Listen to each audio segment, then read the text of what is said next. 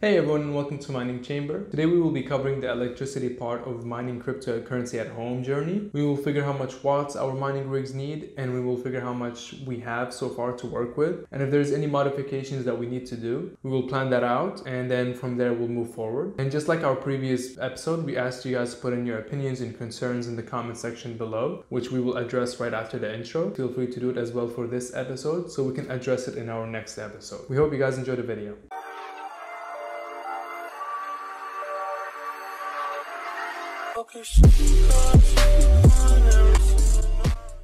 In our first episode, we were deciding to either pick the garage or the balcony.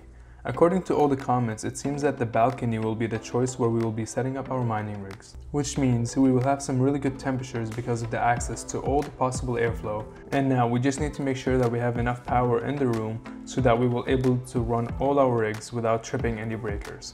And tripping a breaker means that you took more power than that outlet can provide, which then as a security measure, the breaker will trip so nothing burns down. Thank you everyone for leaving your comments in our previous episode. We hope that you will be able to learn something from this series just like we do learn a lot from your comments. There are four outlets. One that is used by the air exhaust which we can unplug and then we have three that we will be naming 1, 2 and 3 my worry is that those three outlets would be on the same breaker, which means if you drop power from the one on the right, then the one on the left will also be considered used. So a typical outlet would be 15 amps and 120 volts. To figure out how much watts it will give you, you will need to multiply the volts by the amps, which in this scenario would result into 1800 watts. So if one of our rigs uses 1200 watts, that means the second outlet will only have 600 left. But with the 80% rule, where you only use 80% of the power that is available for safety precautions, that means we have only 1440 watts in total.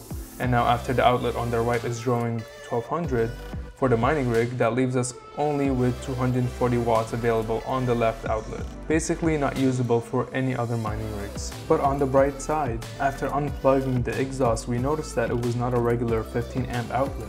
Instead, it was a 20 amps 220 volt outlet, which means we have a total of 4,400 watts. With the 80% rule, we have 3,520 watts that are usable for mining. So this plug in itself can run a lot of rigs and now we have the other plugs that we can use without worrying of tripping any breakers if they are on the same circuit. Each house or apartment has that main electric panel where you will be able to find all the breakers that connect around the house on the panel itself, you'll most likely have a directory for the breakers and what room or outlet they belong to. You'll also find the number of the amps on the breaker itself. With our luck, we had an unfinished directory that was not clear at all. So we had to figure out which belongs to what by tripping off the breakers one by one and testing out all the outlets in the house. You can either test it with a phone charger, lamp, or the tool that we are using to detect a live outlet. If it beeps, that means there is electricity, and if it does not, then we successfully found a breaker that is related to the outlet. So if two outlets would not beep after we flip a breaker off, that means those two outlets will connect to that one breaker. So if it's a 15 amp breaker, then you have a total of 15 amps to use between those two outlets. Here are some tips to help you find the breaker belongs to what quicker. Home heating, if you live in places with cold weather, and you have dedicated heaters around the house, then they will most likely be on a 30 amp breaker. Appliances like your air conditioning, fridge, dishwasher, and laundry will be a minimum of 20 amps breaker. Stoves and ovens are most likely 40 amps. Now with that in mind, just sort through your main panel and try to eliminate all the ones that you already know what they belong for and then make your way through to find the other ones. While we try to pin down which breaker belongs to which outlet, we route it down so we can have the directory for the future reference, and you can do that either using paper and pen or on your computer. It is a tedious process, but it will give you peace of mind once you want to run your mining rig.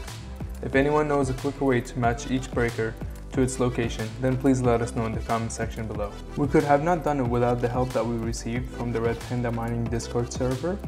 They have a great active community and people that provide valuable knowledge. We do recommend everyone to join the server, so whenever you are in doubt, you can ask around and then I'm sure somebody will be able to help you. We will leave the link for that server in our description below. So now, let's see how much power we need for our mining rigs to run. We have three mining rigs. The 5 Radeon 7s, they consume about 1320 watts. The 8 RX 580s, which take about 1080 watts. And then the 4 GTX 1660 Ti's, which take only 460 watts. These numbers are after overclocking the cards and preparing them for mining, which means that there's a chance that the overclock would reset. Then these numbers would spike up, that is why we need to be careful with the outlets and make sure that we give them room to breathe in case of any situation like that.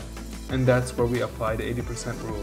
Although now we know that we have enough power in the balcony to power all of our mining rigs, we still plan on setting up one of the rigs in the filming space so it can be a nice background to the videos.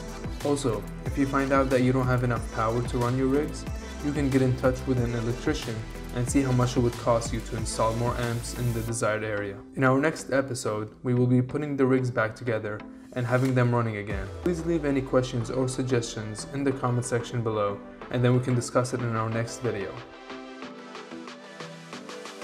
Alright everyone, thank you for watching this video. If you enjoyed it, please leave a thumbs up and make sure to subscribe. And like we mentioned before, if you have any questions or concerns, leave them in the comment section below and then we will cover it in our next episode where we will be reassembling the rigs and putting them back together.